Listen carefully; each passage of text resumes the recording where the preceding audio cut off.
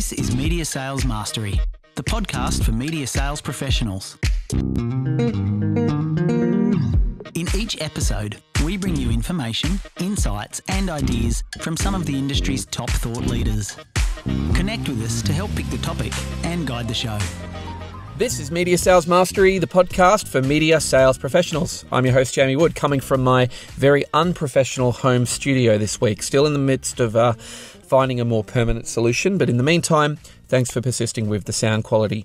Now, our topic today selling multi platform media. Whether you work in legacy media like print or TV or radio, or whether you work in digital media or trade media or event based media, it's highly likely that you sell more than just a single medium or a single product these days. Multi platform media solutions are the way of the future, and it is an increasing challenge for media salespeople, but it is also a massive opportunity for the industry as well. If you get this wrong, you can really quickly find yourself missing revenue opportunities, burning client relationships, and just spending a hell of a lot of time on like really tedious, really unfocused, low return, messy, busy work kind of activities. If, on the other hand, you can get it right, if you can go to market with a really cogent strategy, if you can have a really clear understanding of what that proposition is, how to really clearly articulate it in market, even though there's a lot of moving parts, um, you've got massive opportunity. I mean, you're going to be able to win business. You're going to be able to deliver richer solutions to your clients. You can really future proof your career. You can start to build capability and knowledge across a whole spectrum of different products, which is only going to fare well for you moving into the future. Our guest today, uh, very happy to have Helen Coston of Inktop. Now, these guys are based in the UK. They're a specialist media sales training and consultant agency, and they help publishers and media sales teams achieve their commercial ambitions. I'm going to get Helen to go a bit more into it. On a personal note, like this particular facet of media sales is a bit of a passion point of mine.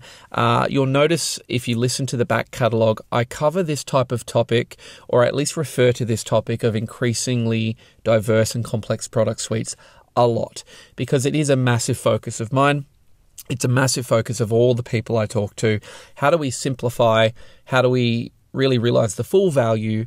How do we get to a place where multi platform selling is just an easy thing to do and we've got the muscle memory to do it well? So, that is enough from me. The only thing I will say is if you guessed LinkedIn, you guessed correctly add me to LinkedIn, send me a message, tell me the content that you want to hear, tell me the topics you wish to discuss, send me or continue to send me the questions you want us to tackle in real time, and uh, throw me a cheeky like or a comment on some of my posts as well. That is it for now. Let's get into it. The first five. Helen, welcome to the show. Hi, Jamie. Thank you. It's, it's great to be here.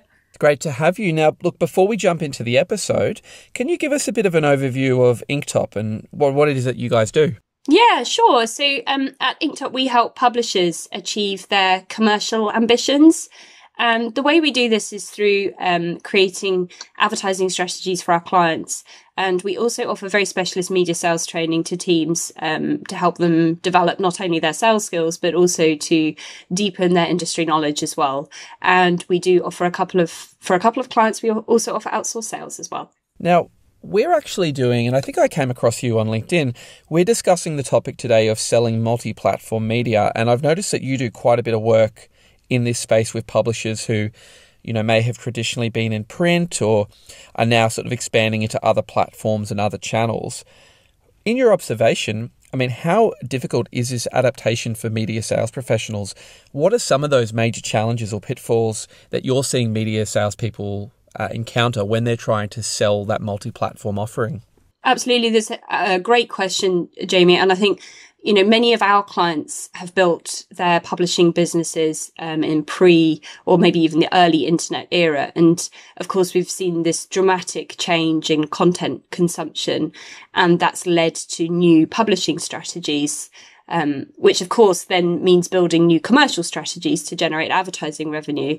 Um, and in many cases, we're seeing it's a very digitally first publishing operation that our clients are now running. And of course, there, this is, you know, this is quite a big change for media sales professionals. And I think it's really a, a mindset, um, kind of thing that media sales professionals, I think, you know, in this day and age need to think in a more platform agnostic way. And I think the best way to sell advertising space or kind of commercial partnerships with publishing is by putting clients' needs and objectives first and then working backwards to create, you know, packages that are really, really going to work for them, you know, across multiple different channels. But, you know, that kind of thinking requires a lot more creativity, I think, than it's needed in the past. And I think that's where media sales professionals can really, you know, really kind of just need to change the way that they think a little bit and uh, just adapt their sales approach to fit it a little bit more easily.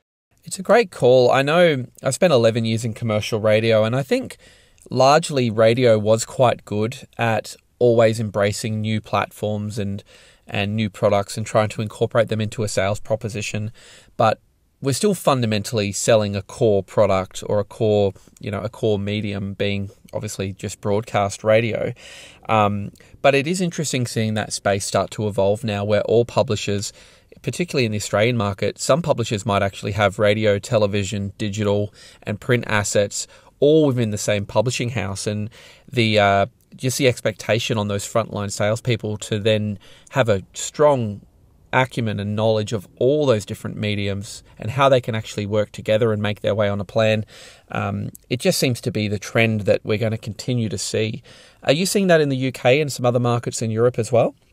Yes, absolutely. You know, the way that we're working these days, um, certainly in the UK, is not just selling on an individual kind of platform, platform by platform approach. And um, as exactly as you say, pla- uh, publishers are working across many, many different channels now. And of course, that means for a media sales professional, their role is just so much more complex than it was even from a few years ago. Well, that's the topic we're going to dive into today. So let's do it.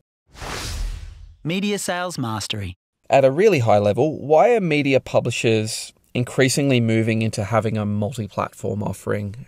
That's a great question. I think it's driven truly by the way that our audiences and our readers are consuming content.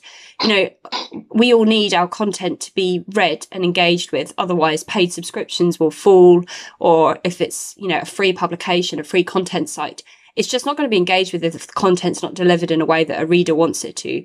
And I think you know, certainly publishers that I've worked with uh, that have conducted reader surveys or analyzed their data have certainly found patterns of behavior that all kind of lead towards having a multi-platform content suite really does suit their audience. So I think it's only natural, therefore, um, when you're planning a commercial strategy is to really look at that holistically and to look at where the engagement really falls and where the kind of opportunities are um, and then work around that into building kind of you know commercial opportunities for advertisers yeah it is interesting because i think we do see certain media where, for example, you might be working with a media sales professional who's well versed in a particular medium, say print media, for example. Um, and then they're starting to see that obviously their audiences are consuming the content across different platforms, maybe social, maybe some digital products. Um, I know a lot of publishers are really moving into that event based space as well, which is a media a media channel as well. What are some of the things that you might sort of typically advise a media sales professional to do when they're looking to build out that multi platform sales proposition? We work on this in our training sessions as well. I would really always advise media sales professionals to just have really, really open conversations with advertisers, you know, rather than contact somebody and say, you know, hey, I've got a full page and the next issue. Is it of interest to you? You know, I would say better contact them and say, you know, hey, prospect. I wondered, you know, how your plans are looking for the next quarter. Are you are you doing any work, any marketing? And and then wait for them to tell you a little bit more about what they're doing. For example, if they're looking at increasing their brand awareness, or if they're looking um, at creating content, or if they're looking at lead generation, and then once you know a little bit more about what their priorities are, you can work backwards and say, well, I think you know, the print magazine would work really well for this area, but perhaps let's do some digital content to support your, you know, your SEO work, for example. So yeah, I would just start with what your, your client is really looking for and then work backwards. I think that's a great suggestion because I think this is where we can often get a little bit confused as media sales professionals with a with a fairly diverse product offering is trying to understand the role of each of the different platforms you know should we sell an integrated solution and bundle them all together or can we actually solve different different business problems with different products and keep them quite quarantined from one another um, because you know that example I gave earlier. I mean, a media sales professional might have three to fifteen different types of assets or products or platforms within that product suite that they're selling. how do you sort of decode that? Like, are there any tips for, for really making sense of the role of each product um, and just getting an understanding of, of what each product might do and how that sort of fits into the broader ecosystem? That is a great question, Jamie. I think it's so easy to feel overwhelmed by the number of different assets or products that any one publisher has these days. And, um, you know, if you're working for a contract publisher, then you might be working across multiple clients, multiple magazines as well. So then the number just gets multiplied even further. And I think as humans, you know, we tend yeah. to naturally just stick to stuff we know when we're selling. You know, we find it easier to sell things that we completely understand. So, an, an, understanding of all the different assets and products and how they kind of fit together, I think is essential to sales success. And in order to help that, I think I've seen examples where having an internal approach in which sales teams really feel part of the publishing strategy in some way can, can really help them to build that understanding. You know, for example, have the head of digital explain the key trends of the website because it just helps salespeople to better understand, you know, the product, if you want to call it that, that they're selling. And I've seen it work best where the sessions are quite informal and there are opportunities for sales teams to ask questions without feeling as though, you know, that it's a stupid question anyway and just, just being able to have those conversations internally to help build understanding. I couldn't agree more with the content strategy. I was just thinking about that. It, it's it seems to me that um, there are different ethoses that different publishers have. Some of them actually keep the content strategy very close to their chest and don't don't necessarily share that with the sales team. And then other sale, uh, other organizations seem to be really functional in that area. Like they really have a great relationship between the two you know, the, the content side of the business and the commercial side of the business.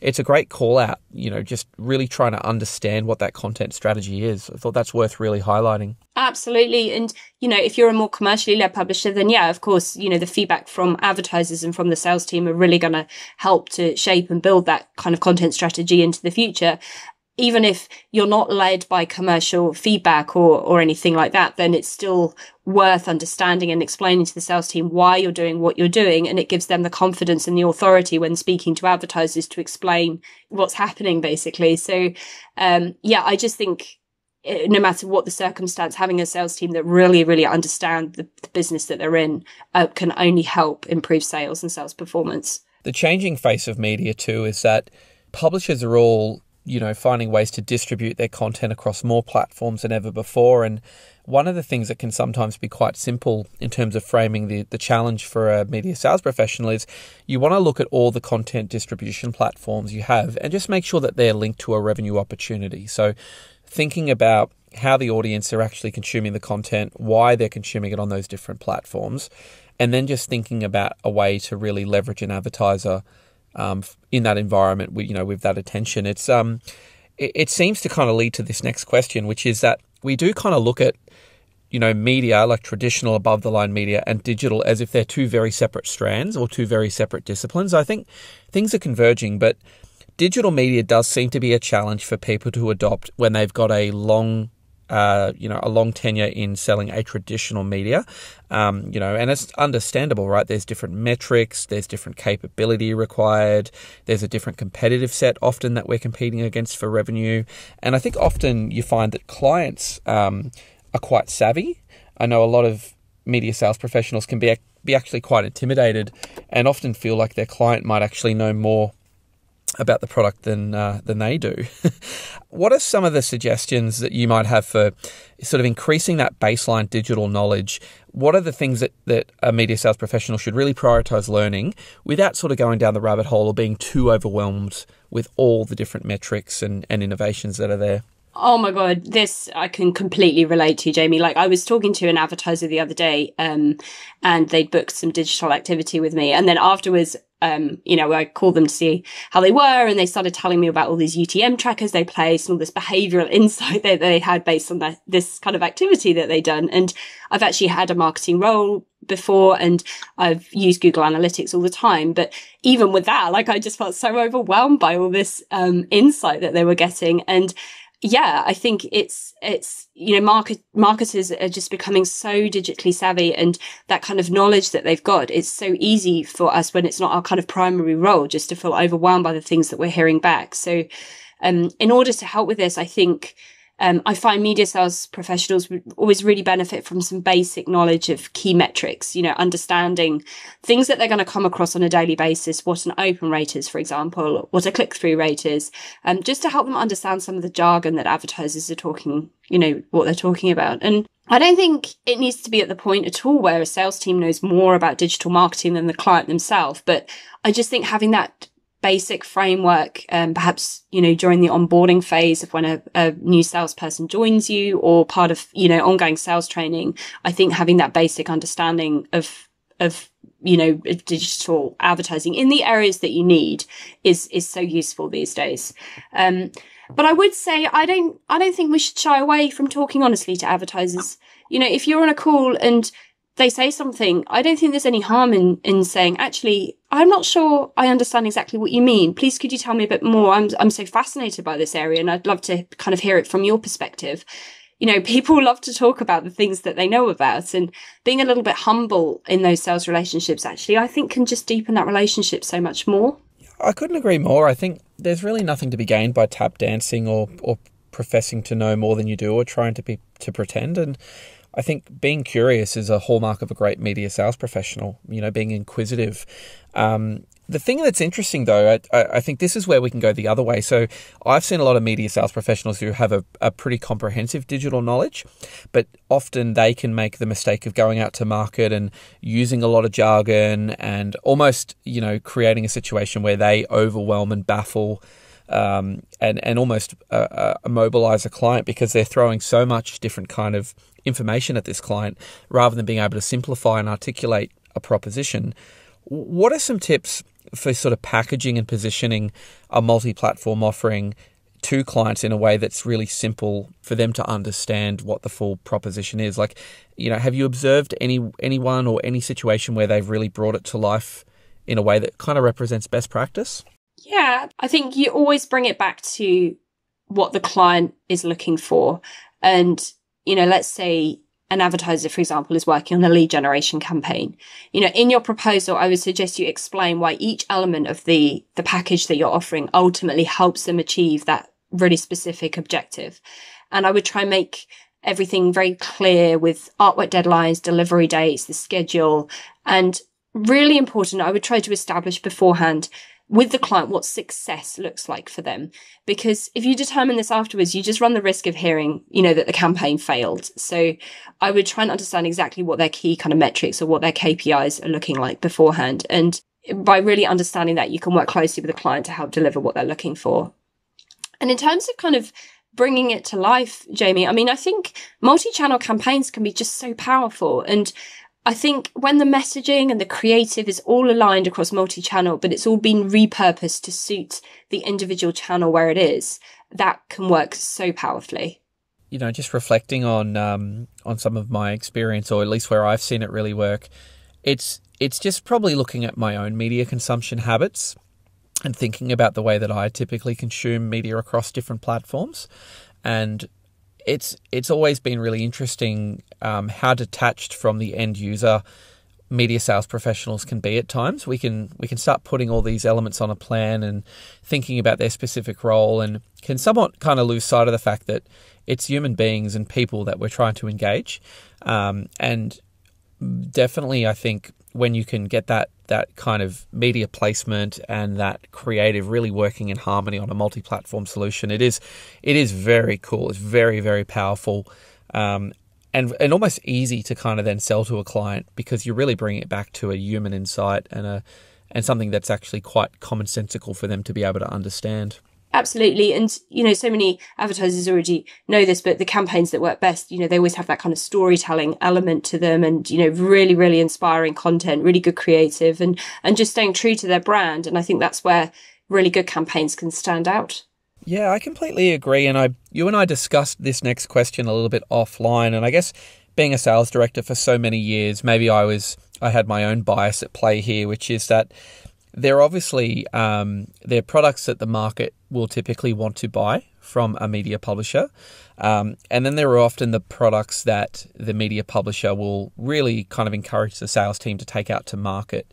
Um, and sometimes those two things don't necessarily align. Sometimes, you know, um, a new product. It's unproven. It hasn't been tested in the market. There's a bit of reluctance, um, and the market really want to buy, you know, the core product, or there's a there's just a little bit of a different um, set of kind of priorities that the that the media publisher might be putting on the sales team.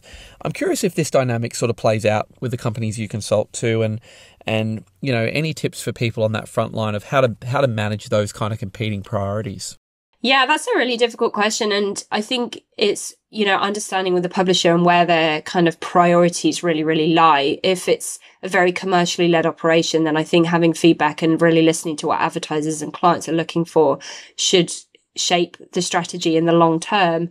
And, and if that's not the case, then I think media sales, the media sales team needs to be aware of where those boundaries are and, um, you know, not be afraid to, to explain them to advertisers when they are. I think, it, you know, it all comes down to just having a really good internal processes and just being open with the team. Also, like media value is where probably a bit of friction comes up, which is sort of my next question. I think we've often said value is sort of in the eye of the beholder and often a new proposition or a new platform that's being incorporated into a multi platform sell. Um, it can be unproven or untested, and it can cause a bit of friction, particularly at a pricing level. How have you seen new products be introduced into a sell, uh, you know, without devaluing them, or, um, or you know, I guess the old uh, trap of being thrown in as value add or bonus?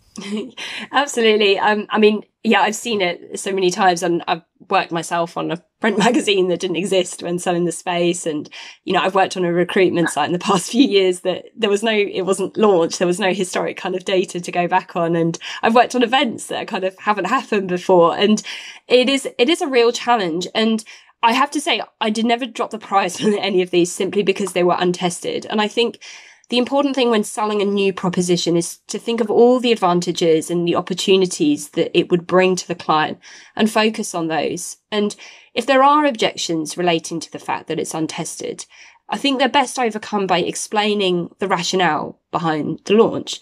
You know, in the case of the recruitment site that I just mentioned, for example, I focused on the market need for such a platform. There was anecdotal feedback from readers and the sector that it was in saying, you know, there is a space here that's not being filled that would be genuinely useful to us. And I also showed them the marketing plan for how organic traffic would be brought to the site and how, you know, the kind of the work that was going into it that would help um, you know, give it the visibility that we were saying that it would. And I also talked about the experience of the team behind the product. And I think that helped to explain, you know, the reasons why we were offering what we were offering and the reasons why we were so sure that it would be the right thing for them.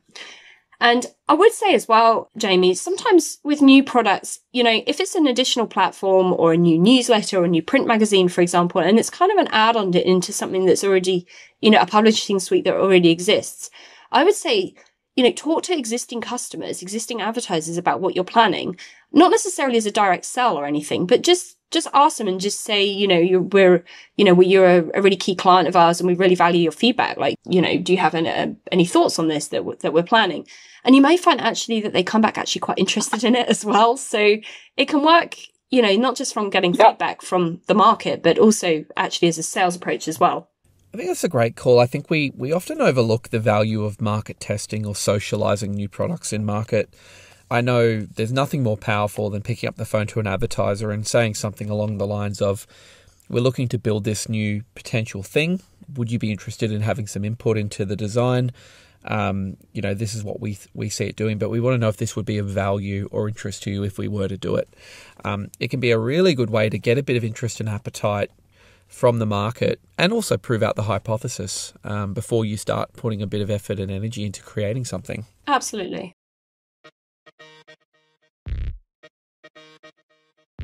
Hey, this is Jamie. Thanks so much for listening to this podcast. If you are interested in learning more about this topic of multi platform media, you should check out another podcast we did on a similar topic. It's titled Sell the Dish, Not the Ingredients with the masterful David Fish. Here's a snippet now. We, we take all this stuff, um, we collect it from around the business, and to your point, we know the product really well and sometimes too well. we sometimes know our trade internally uh, and all the bits that go into our trade too well, and we let that escape out into the market, and we let that go into our presentations, and we confuse and we baffle and we bore. That was called Sell the Dish, Not the Ingredients. It's in the back catalogue. The wonderful David Fish was our guest. I'd recommend once you listen to this podcast, you go back and have a listen to that one too. Thanks.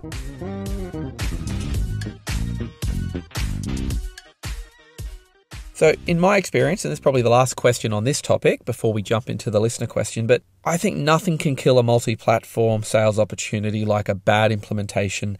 Um, you know, that post sales fulfillment is so critical, making sure all those elements um, are executed as prescribed and with more elements and with more detail and with more of, um, of these different uh, touch points, there comes more opportunity for a client to either misunderstand what they're getting um, or an issue to fall down. How do media sales professionals really sort of, you can never avoid it fully, but how do they maybe mitigate the risk of a campaign falling down in implementation or a client's expectations, you know, maybe not being met? Yeah, that that is so important, and I'm so glad you mentioned this because um, it can be so easily forgotten. And you know, something I teach a lot in sales training is that the sales process doesn't end when the sale is made, you know, far from it. And depending on the size of the organization and the structure, media sales professionals, you know, they often play actually quite a large role in the implementation of the campaign, you know, whether it's artwork collation or uploading assets online or something like that. So, you know, particularly on smaller publishers, they actually play quite a big role in that implementation phase. So I think, as I mentioned before, it's always a really good idea to set out a clear project plan and share it with all associated people. You know, make sure it has deadlines, specs, um, and so on. And I think it's also just important to keep that conversation going with a client. You know, I think salespeople work really hard to get the business in and but post sale, that's when you really show your true colors. And if you want clients to come back and work with you again, they need to know that working with you is a pleasure, that you care about their business, that you're, you're willing to, you know, work hard to make sure that it's successful. And that implementation phase is the time to show it and just being there for the client and actually monitoring how the campaign is going. You know, let's say you've uploaded some digital content. If it's not getting the impressions or results that you were expecting it to, work with the client before it becomes a problem and before they become disappointed. You know, perhaps the artwork's not quite right, perhaps the messaging's not quite right. And it's a good idea to see how these things are going as they go rather than get to the end and the client say, well, I'm really disappointed and I won't work with you again. And, you know, when it could have been fixed so much earlier on. Such a great point around being able to monitor a campaign's performance in real time. I mean, I think many of us who came up selling media, traditional media, it was often difficult to get an understanding of whether it was performing or not until either after the campaign or based on only the client's feedback. Whereas now we do have that opportunity to to monitor and optimize in real time, and I think that's such an opportunity to for client engagement and retention. If you think about, you know, maybe a nervous advertiser, maybe it's their first time, being able to give them assurance and give them updates in that critical first stage of the launch of the campaign where you can report on look we've had a look at your your uh, your landing page or we've had a look at your open rate or we've had a look at the delivery or the engagement of this post and something's not quite working so here's what we're going to do to correct that. I think there's something really powerful in being able to just keep that dialogue really really close and really collaborative with the client in the early phase because the alternative oftentimes can be they hear nothing from the media salesperson and suddenly they start wondering what they're doing and then they get a bit of buyer's remorse. And and that's a phone call that I don't think any media sales professional wants to have is the uh, the cancellation call or this isn't working call. So I think that's a great point you just raised there Helen around really kind of making sure that you can effectively start the sales process at that implementation phase. Absolutely. I think it's, it's you know having the opportunity to work closely with a client is a is is a chance to just keep building that relationship and keep that conversations going. So definitely. I can't ask my sales manager that. So we've got a listener question. Um, this one was submitted via LinkedIn, which is where most of them are coming through now. And uh, this one I think is going to be right in your uh, wheelhouse here, Helen. Here we go. Hey Jamie, I work for a digital publisher that's now moving into events. My VP of sales is getting us to go and sell sponsorship opportunities for this event that we've never done before. Do you have any advice for how to A, represent a sponsorship opportunity in the market, particularly how to sell the value of it, and B, overcome client objections when they say it's untested and we haven't done this before? Thanks, pal. I feel like that's something you've potentially had some first-hand experience doing yourself. Helen, what's the initial thoughts on uh, that question? Yeah, absolutely. It's a great question. And if you're working for an established publisher already and they're kind of launching a new event or a new channel, I would see this as a, as a massive opportunity. It's a new way of reaching out with clients. It's something, it's a different conversation. You know, there are potentially clients out there that you've never worked with before that would be really interested in this event. So being really positive, being really passionate and trying, you know, uh, just going back to that mindset, just trying not to get too kind of fixated on something that it hasn't been there before. There, there isn't just all this data and all this history around it and just being, being really you know, excited and passionate about the project. I know it sounds crazy, but it just helps so much because if people hear that you're excited and you think it's great, then, you know, then they'll feel that too. And like I mean, kind of we t- we touched about it a little bit before, but try to focus on the opportunities that you think it will bring the client. You know, focus on the why. Why are you launching this? Why is it happening? Why is there this enormous opportunity? And and try to really really focus on that rather than you know the the kind of practical elements, if you will. So sell the sizzle. is there a sort of go to market plan for for those types of opportunities where um, maybe like a certain category of advertiser is targeted? Like, is it is it about creating some sort of like exclusivity or trying to generate some demand through some different means as well?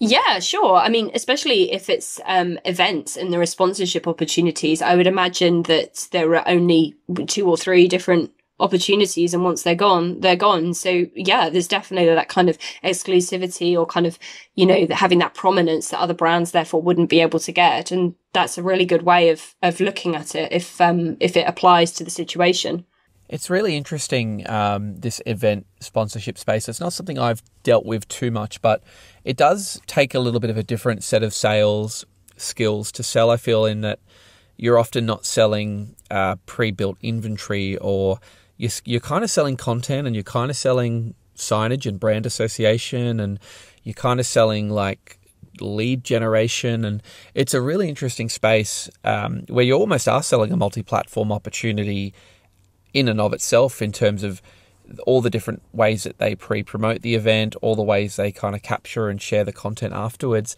It's an interesting space. It sounds to me like for this person it's it's probably a challenge in the sense that they're just trying to figure out how to create almost like a a way to package and position all of these different things so it feels like a a, a bit of a kind of cohesive, integrated campaign. Yeah, definitely. And I think during the calls, you know, during a, a, sales call to somebody you're trying to sell the sponsorship opportunity to, like, you know, like, like exactly as you said, if there's only kind of two or three opportunities and there's potentially exclusivity or just something that other people aren't going to get, you know, f- focusing on the why are you talking to them? Why are you asking them? You know, identify the reason behind why you think they would benefit from this opportunity and, and make it personal in the call. Like, you know, say, well, I thought of you when we were looking at this great opportunity and having it kind of personalized to why that particular business would benefit from it, I think would help as well. I love that. I think that's a great idea. Well, I am going to first of all put a link to Inktop and your LinkedIn profile in the show notes for people to connect with you. But um, before we wrap this up, I'd love to hear a bit more about Inktop. What are you guys doing at the moment? What are the what are the things you offer to people? You know, to our listeners in the UK, do you do training sessions? Do you do coaching, consulting? Tell us a bit more about about the business and and what you guys are kind of focused on right now. Yeah, absolutely. Thank you. So, um, yeah, we have we manage outsource sales for a couple of clients at the moment, and we um, we also do a huge amount of training. Um, usually, we're going physically into offices and uh, you know working with media sales teams now which is absolutely fantastic. I mean i love teaching online as well but it, you know it's so lovely to be you know post pandemic to be able to go back out and into businesses and kind of really see what's happening and being able to work with people face to face again. So yeah we spend a lot of time doing training for all kinds of different publishers and b2b markets b2c markets in trade press. You know anyone who's got media sales professionals kind of selling sponsorship or commercial opportunities, um, I feel would benefit from our training. And we do um, on the consultancy side we you know this is a really interesting time because so many of our clients are looking you know they've got quite a print led traditionally print led publishing strategy and they've recently changed and now they're looking at how to take their advertising revenue through different channels and onto different platforms and you know that's where we come in and we can kind of help show you know, how to redirect that and how to build a new advertising model. So yeah, it's it's just lovely, and I th- I feel like our services kind of complement each other. To be honest, Jamie, because you know we're learning from from everything we're doing, and um, you know we we teach we teach what we do, and you know, and then we do what we teach. So it just you know the the different services that we offer, I feel just kind of work really well together, and really our knowledge kind of really benefits our clients. Yeah, I, I really have to applaud you for what you guys are doing. I mean, a big a big part of my motivation to start this podcast was that there just really isn't a lot of content or or resources available for learning how to do media sales. You know, it's you're often taught by your employer how to sell their product, um, but it's very rare that you can you can access good information or data around some of the more soft skills that are required to do this profession. And um, I would say particularly, and and the link is in the show notes, guys. Uh, check out the blog um, that Top Right. There's some great uh, some great things they've covered off there that I found really insightful and really helpful. And um, I guess to round this out, Helen, I'd love to know, and I'm going to put you on the spot here, but for the listening audience, they're listening to this episode. It's very likely they've probably got a a multi-platform product offering that they're really trying to make sense of and trying to position and package in market. Um, is there maybe one piece of advice or one parting thought you might give to those people that they can take away and potentially apply, you know, immediately this week? Yeah, to everyone, don't be afraid to ask questions. You know, I've learned everything kind of ground up. I was thrown in the deep end at the beginning of my career and, um, I just ask everybody around me all the time. It probably gets annoying actually, but, um, just don't be afraid to ask questions. Don't be afraid to reach out to people around you. Don't be afraid to kind of even contact you know, your friends, if you know someone who's a digital marketer, like, and you want to ask questions, like, just, just kind of go for it and just deepen your knowledge all the time. It's a great thought to part on. Helen Coston, thank you so much for joining us tonight. We wish you the very best. Oh, thank you so much, Jamie. Thank you for the opportunity, and it's been it's been so lovely talking to you.